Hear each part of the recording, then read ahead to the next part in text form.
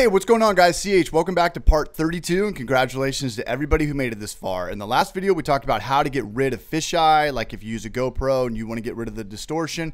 In this video, I want to talk about having a video of a picture in picture. So exactly what I did right here, we're going to go ahead and create and learn how to do this. So what I'm going to do is I'm going to go back to our original library we were working at. Let me click on this project.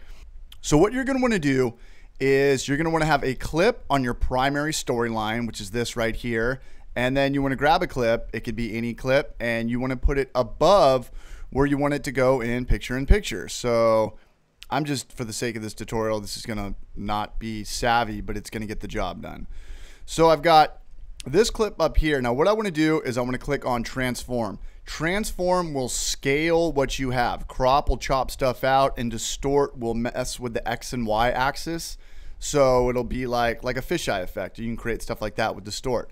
Crop, you can chop this stuff off. Let me highlight over this, make sure you're highlighted over it. You can get rid of some things to the left or the right, but just transform is what we want. It scales everything by four by three. Four times 3 width by height. So just like that. So I'm going to scale it to however, however big or small you want it.